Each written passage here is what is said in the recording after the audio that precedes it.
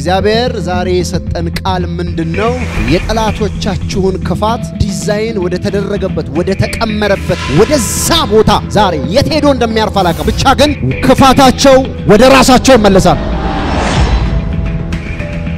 ወደ መጣበት ይመለሳል። መጽሐፍ ቅዱስ መዝሙር ምዕራፍ 54 ቁጥር አምስት ላይ እንደዚህ ብሎ ይናገራል። ክፋትን ወደ ጠላቶቼ ይመልሳል፣ ድርብ ሰረዝ አድርጎ በእውነትህም አጠፋሃቸዋል። ዛሬ ክፋት ወደ ጠላቶቻችሁ ይመለሳል፣ በእግዚአብሔር እውነት ጠላቶቻችሁ ይጠፋሉ። በጣም የሚገርመው ነገር እኛ ሁለት አይነት መለኮታዊ አቅም አለን። መጽሐፍ ቅዱስ በእርግጥ ከሰማይ በሆነ ቋንቋ የነገረን የገባን መጽሐፍ ቅዱስ ሲናገር እንደ ርግብ የዋሆች እንደ እባብ ደግሞ ልባሞች። የዋ ስንሆንም የዋ ነው። ከመጣ ግን ማጃቡራ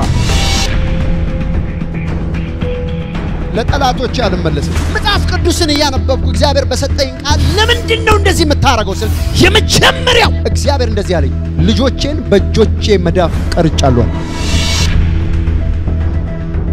ሁላችሁም እስቲ መዳፋችሁን እዩት አንዴ።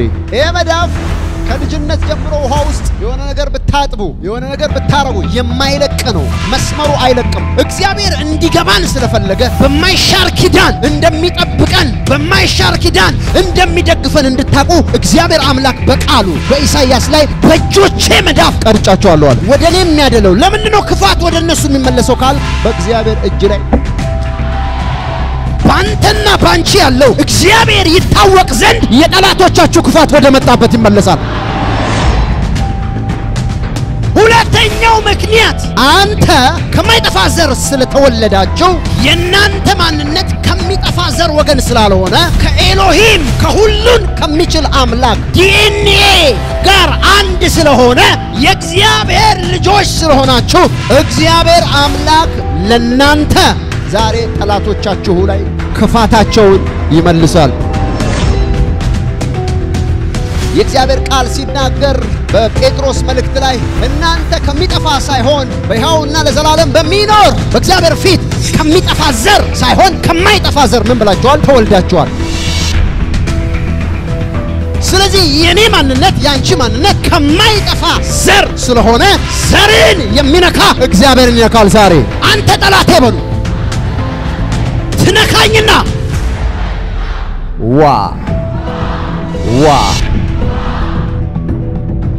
ደጋሚው የደገመው ልዑሉ የሚፈልገውን ዘሩን የለየለትን አንተን ከሆነ ዛሬ አይ ፕሮፌሳይ ቃል አወጣለሁ፣ ወየውለት።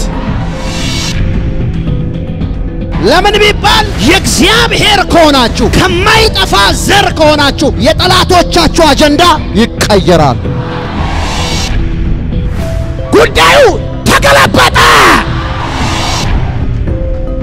እስቲ አንድ ሰው ጠላቴ ሆይ ዋ በሉ።